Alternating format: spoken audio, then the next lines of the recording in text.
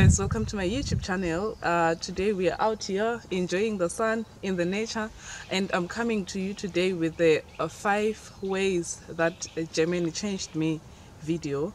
We're going to talk about five things that really changed me as soon as i moved here. I've been living here for the past uh, three years and this is probably my fourth year. In september it's going to be exactly four years. And today we're going to talk about these five things so the first thing that we're going to talk about is the food. German kitchen is really good, guys. Germans have really good bread, really good potatoes, and they eat a lot of bread. And because of their food, I've really gained so much weight. Germans also have Knödel, Brezel, Käsespätzle, you know all those things. If you live in Germany, you know exactly what I'm talking about. But yeah, this is exactly why I've gained weight. The other thing about uh, food in Germany is that they have a lot of restaurants. Talk about Indian restaurants, talk about Italian restaurants, talk about Greek restaurants, talk about Chinese restaurants. I mean, one would have really so much choice of where to go and eat, not just in one kitchen or, or something like this, but they have uh, restaurants from almost all the countries and this is exactly why it's easy for one to just gain weight it's easy for one to change from 57 kilo kilograms to 70 kilograms but it's okay i'm working on it it's not so bad but one uh, bad thing is that there's a very limited African cuisine or African kitchen in Germany. I've only attend, I've only been to one African restaurant in Cologne. It's called Shaka Zulu, I think, something like this where I could eat uh, some African food. There's very limited African food in Germany, but they have really, really good food and also bad food. They have a lot of processed food, of course. I will not. I, I can also mention that you can buy a whole Italian meal in a supermarket, and because it's processed, it's meant to stay for long. It has a lot of chemical going on, and it's obviously not healthy for one's body. They also have that and because they don't have so much time to prepare you know in my last video i told you that germans uh, work hard and i also have a full-time job and sometimes i just don't want to cook. I'm just going to a supermarket and pick my processed meal and eat and it's good. And because of this one can really gain weight. Something that i never used to do and in africa where i come from in zimbabwe we don't have all those uh, restaurants from all over the world like what german has and this is why we were not gaining so much weight. We would cook we'll cook at home get our vegetables from the garden and eat and it was okay. But here people don't cook a lot and for me let me talk let, let me not talk about other people okay? For me i don't really find time to cook all the time and this is why i get to go to restaurants all the time and this is not healthy. I've gained a lot of weight. German food has changed me guys. The second thing that we want to talk about is a sport German has taught me to do a lot of sport. Talk about driving a bicycle, talk about swimming. I've also learned um, climbing, frisbee, and taking a walk in the nature. Why am I doing all the sport or why have I learned to do all that? The first thing is, of course, I've gained a lot of weight and I want to lose weight. It's logic. And the second thing, the most important one, is that I work um, with disabled children and full time. And most of the times I have to be standing all the time. And when I'm done with work, sometimes I used to have these neck pains, really strange pains in my muscles, in my legs, arms, everywhere.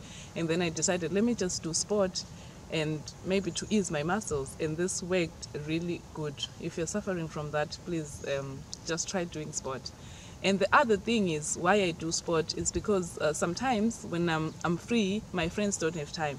If you watched my expectations versus reality video, you'll know exactly what I'm talking about. People never have time here in this side of the world. And sometimes when I'm free and they're not free, I just use my time in Zumba, doing Zumba courses or going to the gym because this is also helping me. It's a positive thing. And yeah, German has taught me to do sport, guys. Isn't this good? Something that I never needed back home because I never gained weight. I was never working full time. You know what I mean? So the third thing we want to talk about today is a time. My God, I used to be so bad in keeping time. I used to be so bad in keeping appointments but I've learned that when people say let's meet at one o'clock, they mean one o'clock. You know, with Zimbabwean time, one o'clock is two. Let's meet at two o'clock for three. something like this you know people can in zimbabwe where i come from people can come an hour later and it's still acceptable and it's still okay but not here my husband usually say a time is money babe and i think he means it here when people say let's meet at one o'clock they mean exactly one o'clock. In fact they mean five to one five minutes before the right time. And yeah i've learned that time is important and time is money and it needs to be kept like that. So um i used to be late for appointments uh, before but not anymore. I'm not yet 100 percent. I don't really come at five to one but i come maybe at one o'clock or five past one. I'm still better. I don't come at two but maybe five past one. But i'll get there. I promise you. I'll be better. So the fourth thing that we want to talk about is social life. Yeah. I'm a very social person oh i used to be very social i'm that type of a person that when you meet when you meet me in a bus and we start talking and we start vibing then we can be friends the next day i, I don't really take time in making friends and, and things like that I, I really talk to everyone and yeah i'm very loud but uh, Germans are not uh, this type of people. They've taught me to be a little bit antisocial. Why? Because Germans are introverts. They are not really talking a lot. They are not really uh, sharing a lot. Maybe it takes time for them to trust the next person or to talk to the next person. And this is what I've learned too. I've learned not to trust anyone. I've learned not to talk to everyone. I've learned to just keep my circle so small and uh, very um, not with everyone with me and the other thing is uh, with german people they can uh, vibe with you you know when you're working together or when you are talking uh, something like this. But when you no longer have anything connecting you with you they can actually forget you. For example you can go out with uh, germans out for drinks and everything and then you meet them the next morning at work they don't know you. Like yeah you have to start afresh to introduce yourself. This is what I've also learned. I don't know if it's a good thing or a bad thing, but um, I'm a bit introvert now. I'm no longer that loud, that everywhere, you know, because um, in Zimbabwe I used to be everywhere in the sense that I used to do a lot of voluntary work. I used to do, um, I used to be part of Junior Chamber International. If you're from Junior Chamber International, hello.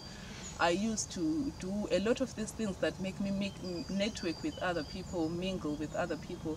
But here, there's nothing like that. Like you have to live for yourself. You have to do your own thing. And this is what I've also learned. I'm no longer doing any voluntary work.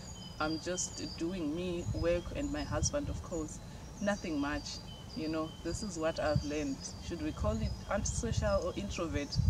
I don't know, but I've changed this way yeah so we've come to almost the end of this video we're going to talk about the last thing the fifth thing that we want to talk about is recycle bins german has a very interesting way of recycling. You know what i mean? In zimbabwe we only have one bin. One has to only have one bin in their house and it's enough to just throw away everything. But in german it's something else babe. In german we have uh, four i think four or five different bins. You have a separate bin for paper you have a separate bin for plastic you have a separate bin for glasses and just bottles tinned foods or anything like this. And you also have a separate bin for throwing away food stuff that can get rotten. Leftovers it could be plants or anything that can get rotten. You put it in a separate bin. Why does german do all this? It's because uh, they recycle. Everything that is used can be recycled and be reused again. And the th other thing is they want to keep their environment clean. You know when you're throwing away uh, when you're throwing a paper on the ground the environment is no longer clean it might affect the plants or animals that are living on this ground or or whatever that can happen that is not unhealthy for the inhabitant.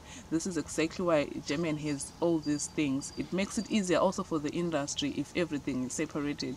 So I've learned to not throw away my papers everywhere. I've learned to not uh, throw away um, my plastics everywhere. There is a separate bin for plastic here. So yeah, I think it's it's actually not a bad idea when I think about it. It's actually a good idea because it teaches you order to be smart and you don't have to stress about everything else because you have your bins separately and it's easier for everyone for me and the industry too so i've learned uh, to recycle my waste in a different way things that we don't know in zimbabwe we can just throw away papers everywhere. No i'm not saying zimbabwe is bad or i'm not saying zimbabwe is dirty but i'm just saying yeah it's not that important because i don't think we recycle everything that we use like germany. But yeah tell me what you think about this video. Comment down below and let me know how wherever you are staying has changed you how this country that you moved into or wherever you stay has changed you in a certain way. And give this video a comment give this video a like if you like it and don't forget to subscribe to this channel. I'll see you in my next video. Bye